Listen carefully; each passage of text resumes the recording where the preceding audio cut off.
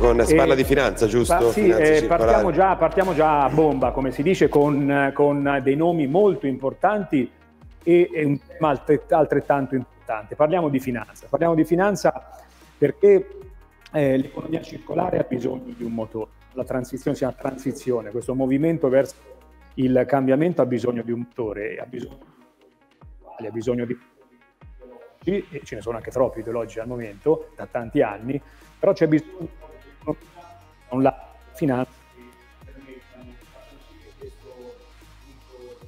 eh, eh, porti da qualche parte. Quindi la finanza è estremamente importante.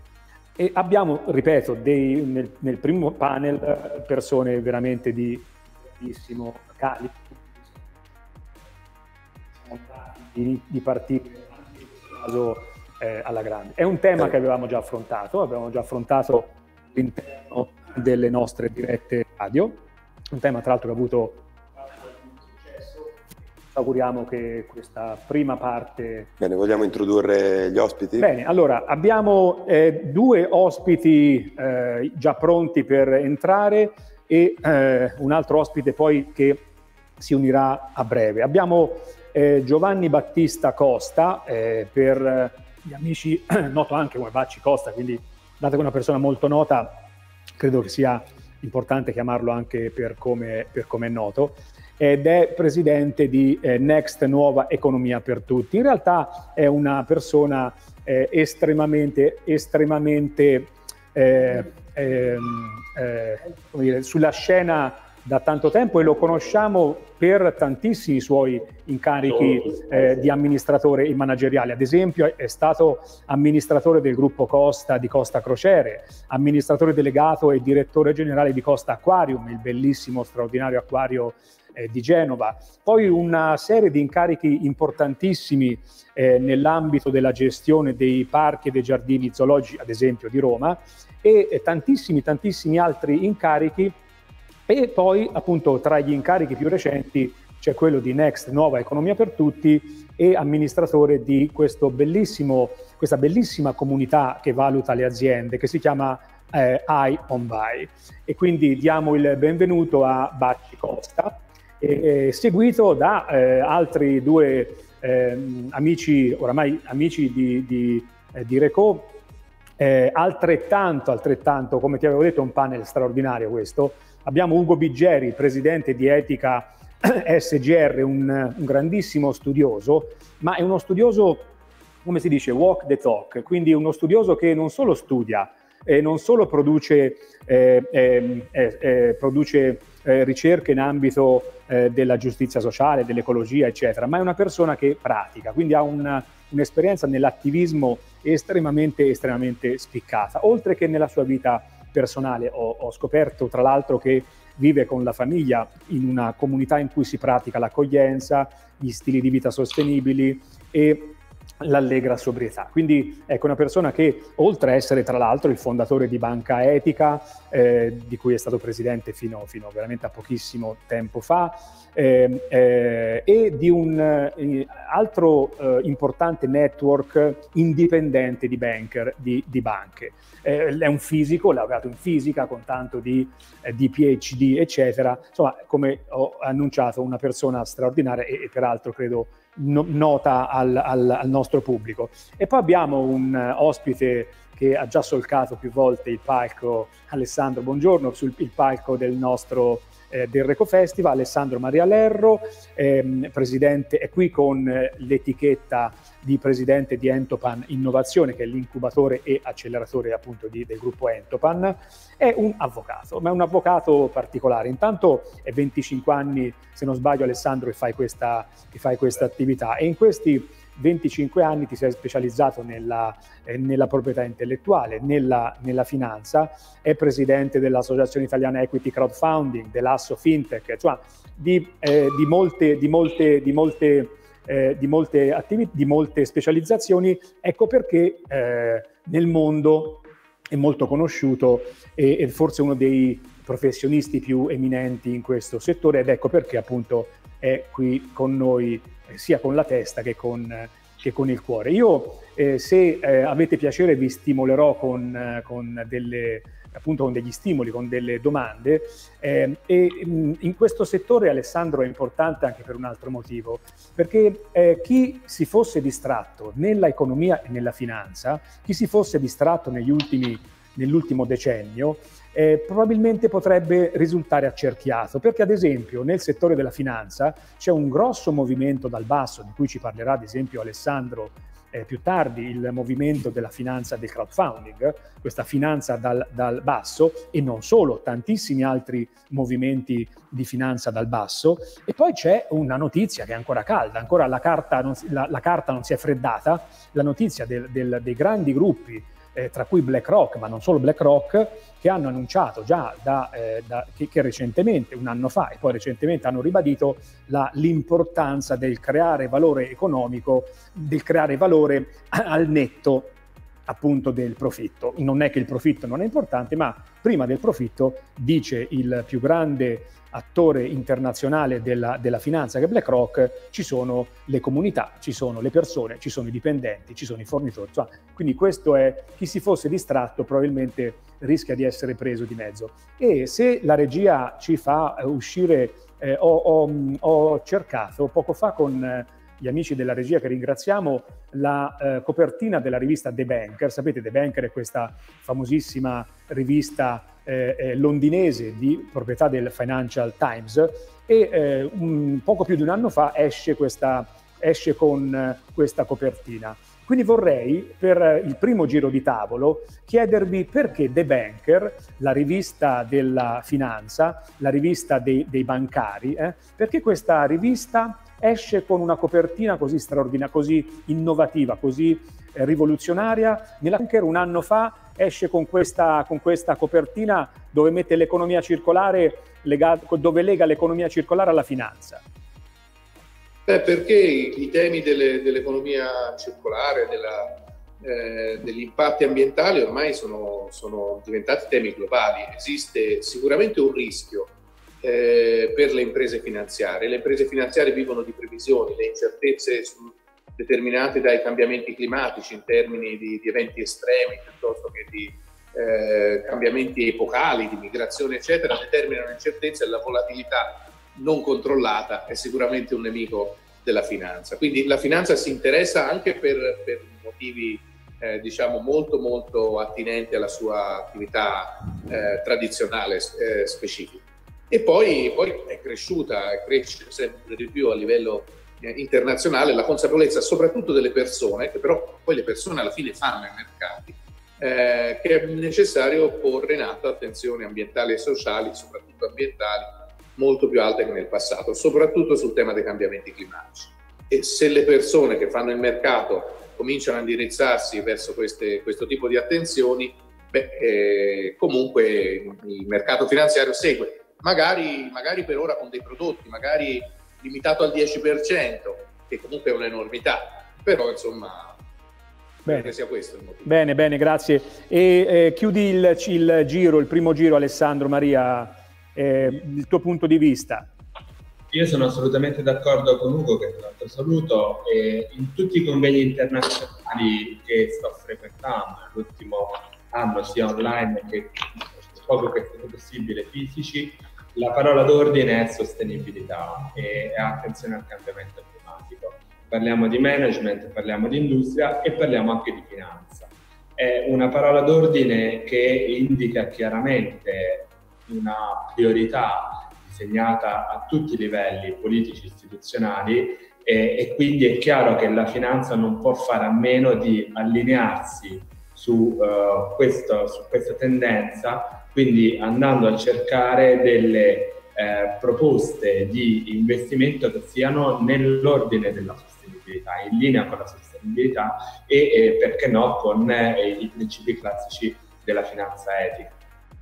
Grazie davvero, vi avevo detto che ecco, i contributi sarebbero stati di, di livello. Eh, Bacci Costa, che cosa significa in pratica cambiare la finanza? Se ne parla, ma che cosa significa? Qual è il senso della sostenibilità e di quella integrale? Eh, dice, ha, ha, detto bene questo termine, diciamo, sostenibilità integrale, perché anche l'intervento che mi ha preceduto ha parlato che ci vuole, eh, l'obiettivo è raggiungere la sostenibilità. Il problema è che bisogna intendersi che cosa è sostenibilità. Anche quando Bigieri poco fa ha detto eh, soprattutto sull'ambiente, io invece dico soprattutto sul sociale, perché? Perché sull'ambiente è più fisico, è più noto, è più denunciato. È chiaro che ha grandissimi problemi anche l'ambiente, sappiamo a livello internazionale quali sono i vincoli, però sul sociale eh, veramente è lì dove c'è il cambiamento reale dell'economia. C'è un'economia che è in grado di dare risposta ai problemi, diciamo, della, dei cittadini, del benessere delle persone. Eh, e, e, questa è per noi la, una nuova economia. L'integrale cosa significa? Che qualunque soggetto economico deve essere eh, sostenibile, quindi buono in tutte le aree, no? quindi l'area della governance, della, della, della, catena di fornitura, dei lavoratori, dei clienti, dell'ambiente e, e, del, e, e del, suo territorio. Questo qui eh, molto spesso nelle dichiarazioni internazionali si parla di sostenibilità, ma non a questo livello.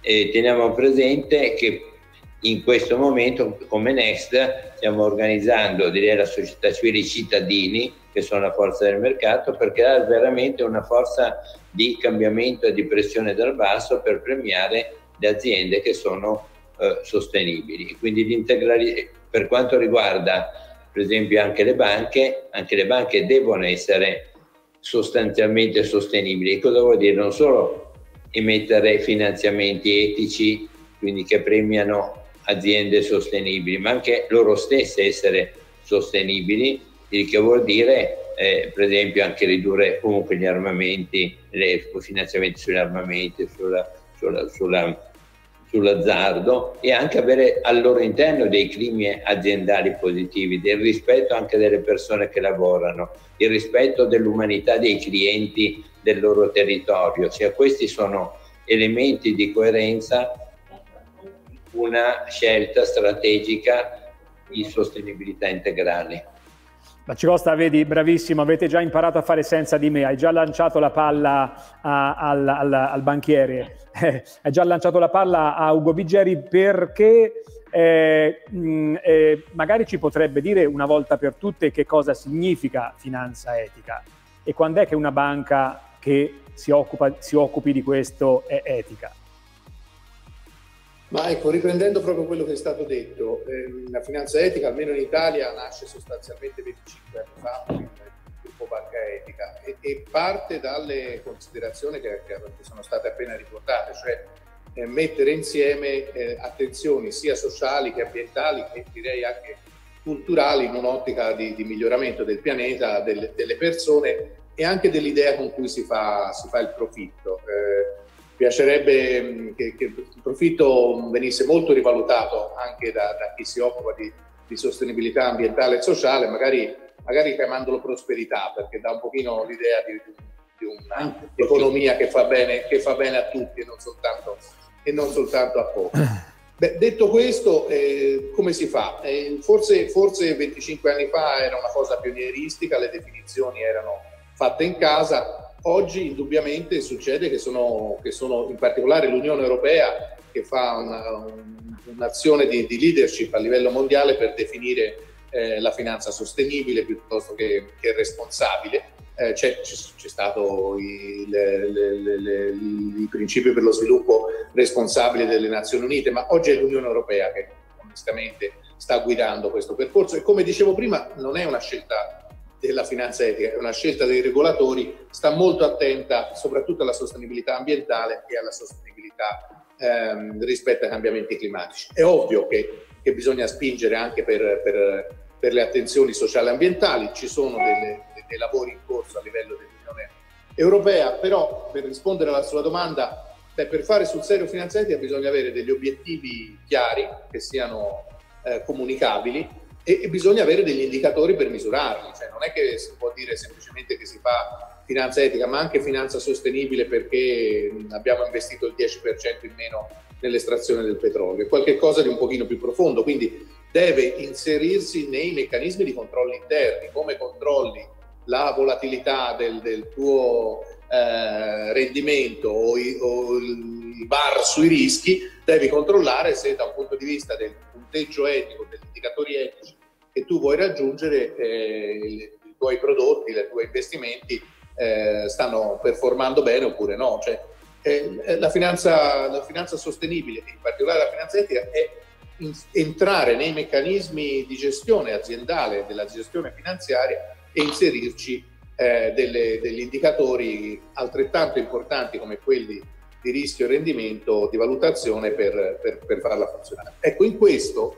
io credo che stiamo però eh, assistendo a qualcosa che, che, secondo me è uno tsunami. Non, mm, il fatto che, che, BlackRock dica che vuole portare al 10% i suoi fondi, la sostenibilità de, dei suoi fondi, quindi vuole avere il 10% di fondi sostenibili, per essere chiari farà sì che ci saranno dei prodotti sostenibili di BlackRock sicuramente molto ben fatti perché sono dei grandi professionisti eh, che sono parecchie centinaia e centinaia di miliardi quindi sono molto di più di tutto quello che, che, che per ora c'è, cioè, sarà un cambiamento importante nel mercato.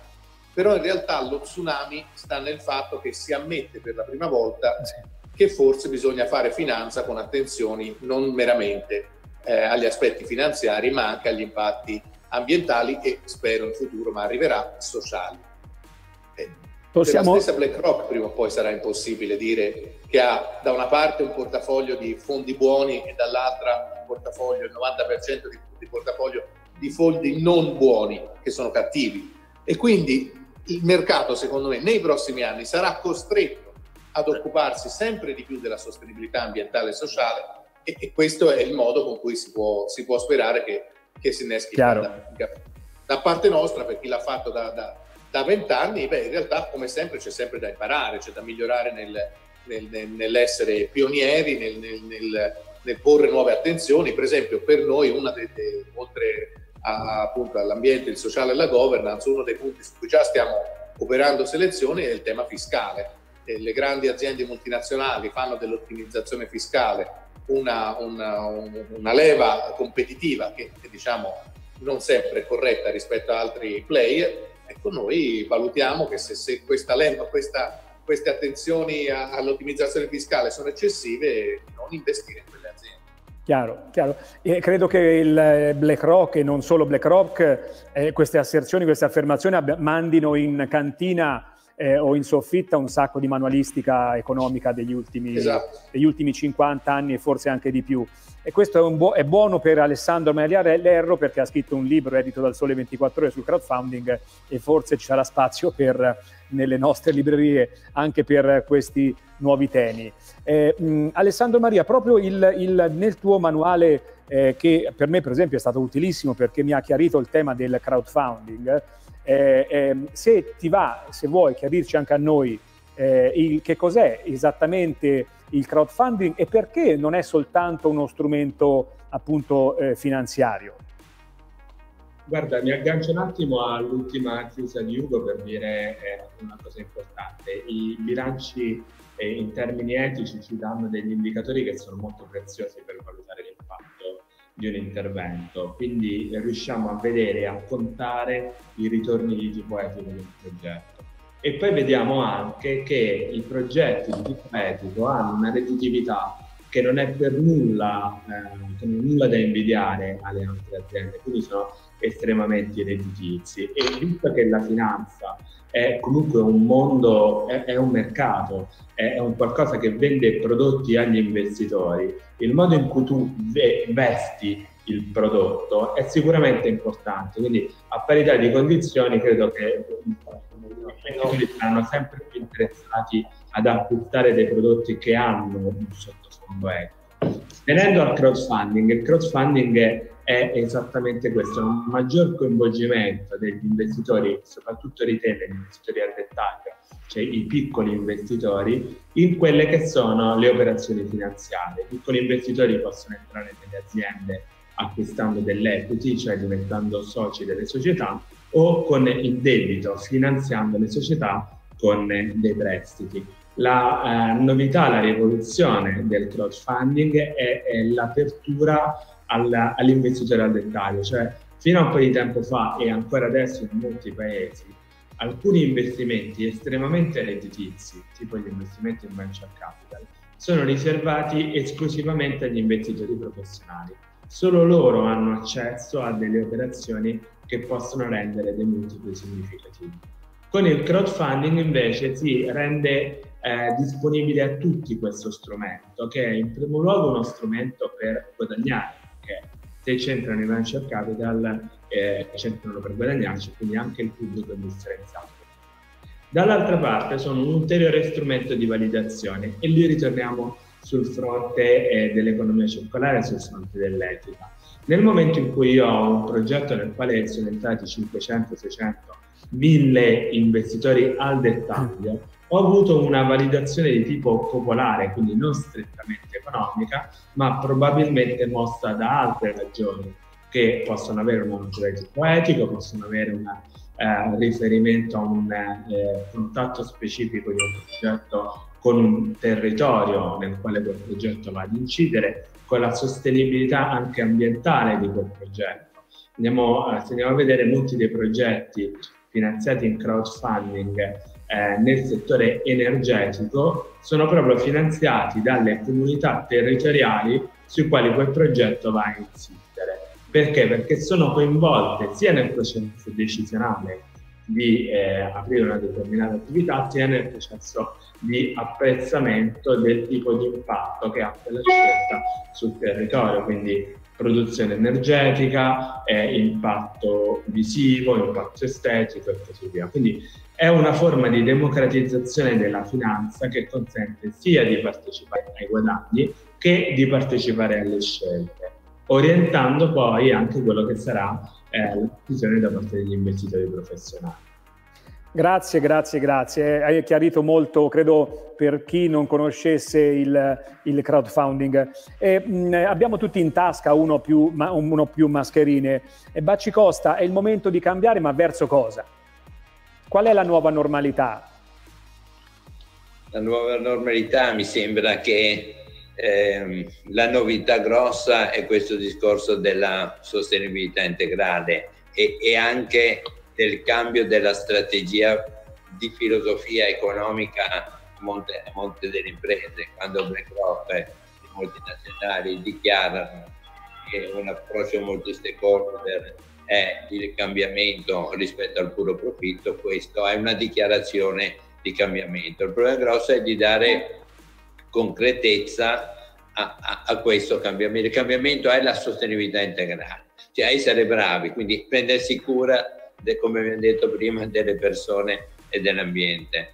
Però essere bravi integralmente è, qui il punto, no? perché io prendo, do atto no? a a Bigeri, quindi a Banca Etica, a Etica CGR perché ho avuto finanziamenti, ho fatto investimenti con loro e, e so sia che verificano veramente rispetto a una integrale sostenibilità, quindi sotto tutti gli aspetti.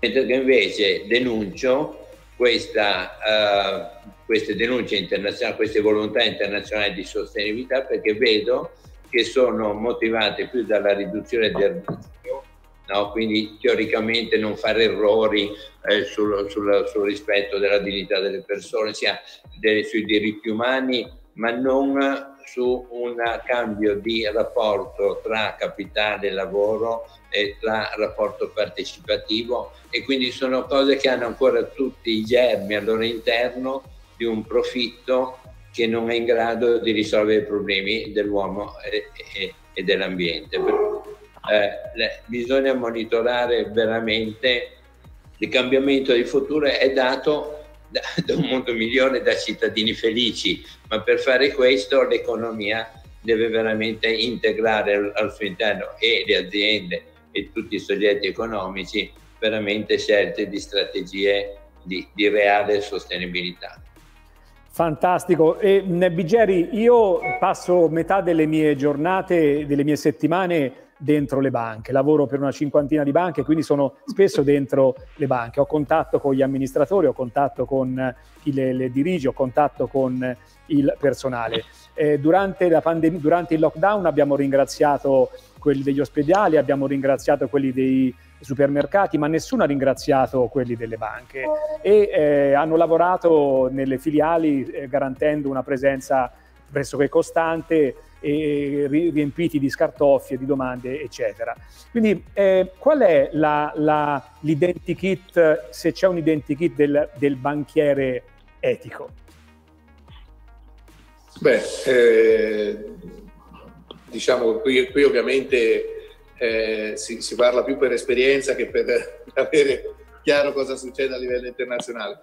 Io vedo che ci sono un sacco di persone, soprattutto giovani, quando mi capita nella formazione, che già dalla, dal, dal, da, dalle prime battute del, del, lavoro in finanza si interessano, anzi hanno proprio una passione per questo nuovo paradigma, cioè portare non soltanto le valutazioni meramente finanziarie, ma anche quelle appunto eh, di impatto sociale e ambientale o di, di sostenibilità integrale nel loro, nel loro, lavoro. Dopodiché io credo che mh, più terra-terra le, le persone sono motivate da fare bene il loro lavoro e purtroppo non dobbiamo, non dobbiamo far finta di nulla. Il, il mestiere dei, dei, del bancario è stato in questi sì. ultimi vent'anni.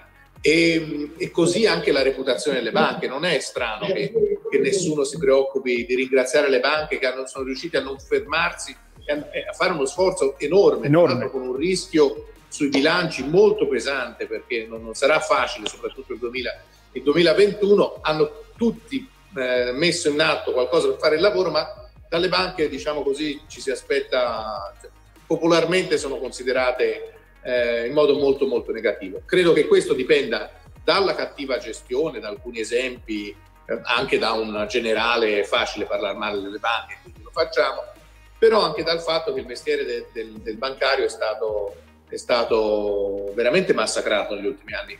Una volta in un paese eh, si raccontavano le proprie cose personali al farmacista, al prete, al maresciallo dei carabinieri e, al, se avevi soldi al direttore di banca. Oggi nessuno, nessuno, racconterebbe tutto al direttore di banca e questo è perché gli incentivi, le, le, le, la, la, spersonalizzazione del, del, mestiere ha fatto tanti danni. Allora, per tornare alla domanda, tante persone che poi lavorano, che poi alla fine anche nella finanza etica stai allo sportello, non è che, che stai sempre lì a pensare ai destini del mondo, eh, tante persone sono motivate a lavorare nella finanza etica perché sanno di, avere, di riabilitare il mestiere del, del bancario. Bene, bene, grazie. Eh, eh, Alessandro Maria, ne, che numeri ha il crowdfunding? Di cosa si sta parlando? Allora, nel mondo si sta parlando di numeri giganteschi, anche l'anno scorso abbiamo parlato di quelle che erano le previsioni di Banca Mondiale nel 2016 con un paper pensarono che nel 2021 sarebbero stati, scusate, nel 2018 sarebbero stati 85 miliardi di euro in tutto il mondo, in realtà nel 2018 sono stati più di 400 miliardi di euro. Uh, L'Europa va un po' più a rilento rispetto agli Stati Uniti e all'Asia, l'Asia va fortissimo e eh, nell'ambito dell'Europa l'Inghilterra la fa da padrone, ma è sempre stato così, l'Inghilterra è sempre stato un paese eh, molto forte in eh, materia finanziaria. Eh, L'Italia sta crescendo molto rapidamente, con ritardo rispetto agli altri paesi, ma in modo molto interessante rispetto al passato. Considerate che l'equity crowdfunding, quindi l'investimento in capitale di rischio, è molto simile al venture capital. In Italia il venture capital in fase che si chiama di seed, fase iniziale di sostegno delle imprese, eh, negli ultimi vent'anni ha tenuto una media di 100 milioni all'anno di investimenti. Ecco, molto probabilmente se non ci fosse stato il Covid saremmo arrivati quest'anno a 100 milioni di equity crowdfunding, probabilmente si arriverà un pochino sotto, intorno agli 85-90 milioni di equity crowdfunding, mentre il lending si eh, rischia di avvicinarsi al miliardo di euro eh, perché? Perché i prestiti peer-to-peer sono meno rischiosi dell'investimento in equity. Con un prestito io alla fine del periodo, un anno, due anni, tre anni, ricevo indietro il mio denaro più degli interessi.